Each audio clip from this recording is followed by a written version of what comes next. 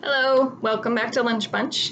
Today I'm going to continue reading the story And They Don't Kiss at the End, which is by Nilah Magruder, and it is from this collection of historical fiction called All Out The No Longer Secret Stories of Queer Teens Throughout the Ages. So we have met Dee, and Dee and Vince were friends, um, and maybe more than friends, but Dee was not feeling comfortable um, with the relationship. She's not sure why. Um, she's wondering why she doesn't seem to be into any guys or girls um, the same way that her friends are. Um, so she's been she's at the skating rink with her friends Lori and Marianne, um, and they kind of have been talking about what's going on with Dean Vince.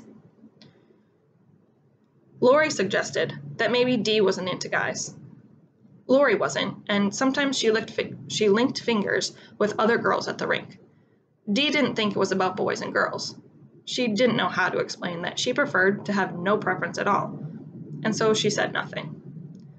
What's with you, Dee? Beverly Henderson had once asked her. Don't you like anybody? Sure, she did. Dee liked plenty of folks, but she knew that's not what Beverly was really asking.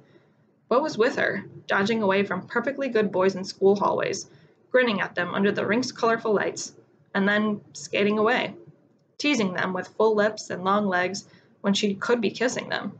Dee grimaced at the very thought. Later, she caught Beverly calling her a prude once in the east stairwell, but Dee didn't mind. Maybe that's what she was. She didn't know what else to call it. Maybe there was no word for the way she felt. Sometimes, Dee tried to force herself to get used to the idea. She'd pic- picture herself with Vince, kissing, letting their hands roam over one another. And she didn't care.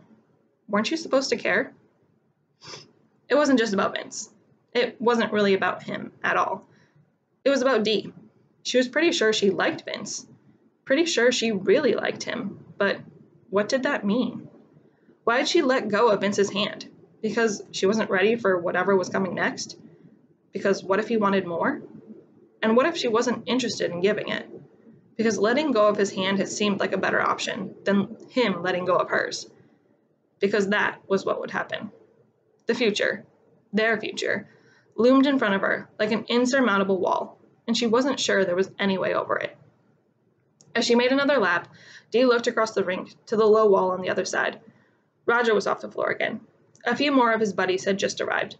She didn't recognize all of them, but she recognized the one with the mop of curly dark hair slim legs and corduroy bell bottoms, and a sports jacket he could practically swim in. He turned his head, and she felt it like a lightning strike when their eyes met. Lori and Marianne were at her side not five seconds later, and she had to commend their response time. He's not supposed to be here, said Marianne. I told Raj. But Roger looked just as surprised and embarrassed as her friends did now. We didn't know, Dee, said Lori. I swear. Dee leaned away, and with the scrape of wheel on wood, she left them behind. She could leave, but she'd have to squeeze by Vince to do it. Then she could wait, just until he hit the floor, and then she'd skate off, grab her shoes, and be out the door before he made his first lap. But she had left him that way once already. Her palm tingled at the memory. She had a feeling taking off that way again would sever whatever connection they still had. She'd be turning her back on the past year forever. She wheeled toward the lockers. Vince was doing a poor attempt at pretending he was talking to his boys. He was still watching and saw the look she gave him. And then he was separating from his friends and hurrying to put on his skates. Both her hands were tingling now. No, they were sweaty. Her body was warmed up from the lights and countless laps around the rink. Jazzman was blasting from the speakers, one of her favorite songs to skate to. As Vince crept up beside her, she used the familiar upbeat rhythm and Carole King's soulful voice to give her strength. Hey, said Vince, so quietly under the music that it was easy to miss. Dee said hi in return. And then, silence. Well, save the music from the speakers and the sound of dozens of small plastic wheels turning around the polished hardwood floor, and laughter and chatter from every other person in the building. She had to say something, but every time she gathered up the words to speak, she felt the silence pressing closer and let the words go. The truth was, she just didn't know what to say. I should have said this sooner, said Vince suddenly. I just didn't know how, and I didn't think you'd want to talk to me. But I'm sorry. For what? For, you know, last time. For taking your hand. I should have asked first. Asked if you were okay with it. Yeah, darn right you should have, thought Dee, but she felt a pang of guilt as well. The truth was, she couldn't remember who'd grabbed whose hand first, and she couldn't remember not enjoying it. Well, it wasn't all you, she mumbled. The song changed over to Reasons by Earth, Wind, and Fire. They glided in silence. Dee listened to the rotation of their wheels on the polished wood surface, that soft, reassuring sound, as she searched for words. Before she found them, Vince said, I read it. Dee glanced at him. You read what? Pride and Prejudice. Dee gaped. She nearly tripped and slowed to regain her balance. Vince slowed with her. He was looking at her with concern. She looked back at him, wide eyed. You can read? Vince pushed her shoulder lightly. Shut up, he shrugged. We weren't hanging out, and I didn't have anything better to do. What'd you think? He shrugged again.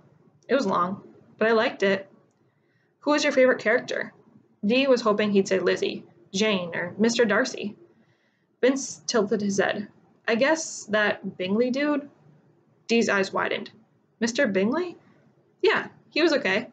I think I related to him most. How he knew he liked Jane, but was too polite and chickened out telling her. And it took him 20 years to finally get around to it. It wasn't that long. Well, it felt like reading it took 20 years. At that, Dee pushed him away. He smiled and arched back toward her, and she found herself smiling too. What I mean is, I get how hard it is to tell someone what you're thinking, especially when you like them. And sometimes you're so close you assume they know what you're thinking, but it's not really fair. I mean, I'm kind of rambling, but no, said Dee quickly. I get it. She took in a deep breath and let it out again. She understood what he meant, not just for him, but for her as well. She curled her finger into her palms, readying her word like armor. Because what was she waiting for? She was no Mr. Bingley. I am a 20th century Lizzie Bennet. I like a boy. I like talking to him. I like his eyebrows. I like his laugh when I tease him, like how he debates me on 19th century hero- heroines and 20th century superheroes. I like his secret sports conversation with my dad. I like how he focuses so hard when he dances, even though he's good at it. I like how he skates like he was born to do it. Like what I like, I like what I like, and I don't like what I don't. I have nothing to apologize for. Kissing makes me laugh, said Dee quiet, quietly.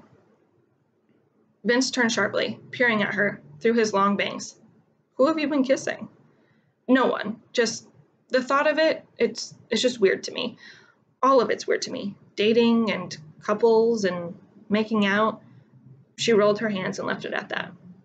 Oh, I'm just a prude, I guess, said Dee. I've never called you that. No, but everyone else does. As the song ended, the DJ seamlessly slid on another record. The lights dimmed low, way low, almost to full darkness. But for the slowly turning tinted lights that passed over the floor and the walls, Dee held her breath against the flutter in her heart.